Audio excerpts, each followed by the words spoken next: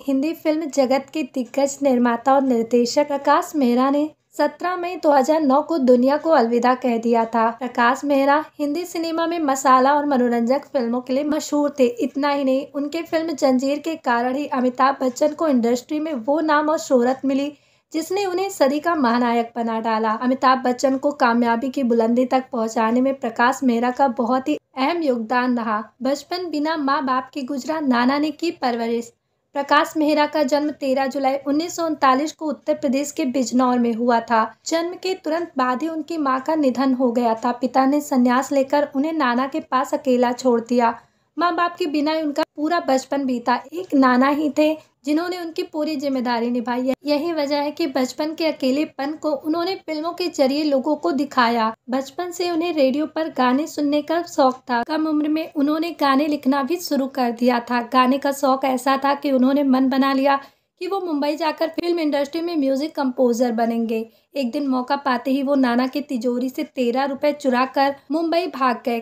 कम उम्र में, भला उन्हें फ़िल्म इंडस्ट्री में कौन काम देता था? खार कर जब काम नहीं मिला तो उन्होंने एक सैलून में काम करना शुरू कर दिया। कुछ दिनों तक प्रकाश मेहरा ने सैलून में नौकरी की, लेकिन उनका ध्यान गानों में ही लगा रहता था। इसी दौरान नाना उन्हें वापस घर ले जाने के लिए मुंबई आ गए। काफ़ी मनाने के बाद प्रकाश मेहरा अपने नाना के साथ घर वापस चले गए। कुछ दिनों तक वो वहाँ रहे लेकिन फ़िल्म इंडस्ट्री ने उन्हें फिर वापस बुला लिया। फ़िल्म इंडस्ट्री में पहला काम कैमरा हैंडल करने का मिला। मुंबई वापस आने के बाद प्रकाश ने कई बड़े बड़े प्रोडक्शन हाउस में बतौर लिरिक्स राइटर काम मांगने के लिए चक्कर लगाए हालाँकि उनका ये संघर्ष जल्दी खत्म हो गया। उन्हें एक प्रोडक्शन हाउस में कैमरा हैंडल करने का काम मिल गया। धीरे धीरे ये काम करने के साथ उनका रुझान फ़िल्म मेकिंग की तरफ़ हो गया।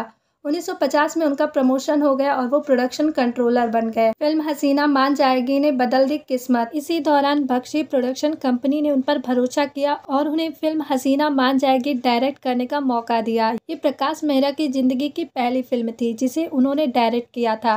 रिलीज़ के बाद इस फ़िल्म ने बॉक्स ऑफ़िस पर रिकॉर्ड तोड़ कमाई की। इस फ़िल्म में शशि कपूर और बबीता लीड रोल में थी। फ़िल्म हसीना मान जाएगी की सफलता के बाद प्रकाश मेहरा का फ़िल्म इंडस्ट्री में कद ऊँचा हो गया। कई नामी डायरेक्टर, प्रोड्यूसर समेत बड़ी प्रोडक्शन कंपनियाँ उन्हें नोटिस करने लगीं। डायरेक्शन में आने के बाद उन्होंने गाने लिखना बंद नहीं किया। उनके डायरेक्शन में बनी फ़िल्मों में उनके लिखे हुए गाने भी सुनने को मिलते थे। इसके बाद प्रकाश मेहरा ने पीछे मुड़कर नहीं देखा। उन्होंने फिरोज खान और संजय खान के साथ उन्नीस सौ इकहत्तर में मेला बनाई, जो हिट रही। फिर अगले साल धर्मेंद्र, जया भादुड़ी और संजय खान के साथ समधी फ़िल्म डायरेक्ट की। इसके बाद जब उनकी अमिताभ बच्चन से मुलाकात हुई तो इतिहास रच दिया। कई फ़िल्मों में डायरेक्शन करने के बाद प्रकाश मेहरा ने फैसला किया कि वो डायरेक्शन के साथ फ़िल्म प्रोडक्शन का भी काम करेंगे। इसी के साथ उन्होंने फ़िल्म जंजीर बनाने की ठानी। फ़िल्म जंजीर को बनाने के लिए उन्होंने अपनी बीवी के गहने तक गिरवे रख दिए। इसके लिए एक दोस्त ने भी उनकी पच्चीस रुपये देकर मदद की थी। इसके बाद प्रकाश मेहरा और अमिताभ बच्चन ने छह और ब्लॉकबस्टर मूवीज़ दी। इनमें हेरा फेरी, खून पसीना, मुकद्दर का शिकंदर, लावारिस, नमक हलाल और शराबी तक शामिल है।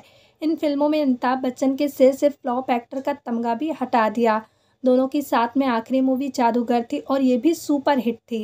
मल्टीपल ऑर्गन फेलियर से उनहत्तर साल में हुई मौत। प्रकाश मेहरा बॉलीवुड के पहले प्रोड्यूसर थे, जिन्होंने हॉलीवुड में कदम रखा था। अस्सी के दशक में उन्होंने राइटर फ्रैंक यांडोलिनो के साथ फ़िल्म द गॉड कनेक्शन बनाने की प्लानिंग की थी। फ़िल्म में उन्होंने हॉलीवुड एक्टर चार्ल्स ब्रॉन्सन को कास्ट किया था, लेकिन ये फ़िल्म कभी बन न सकी। सत्रह मई दो हज़ार नौ को उनहत्तर साल की उम्र में निमोनिया और मल्टीपल ऑर्गन फेलियर की वजह से प्रकाश मेहरा की मौत हो गई।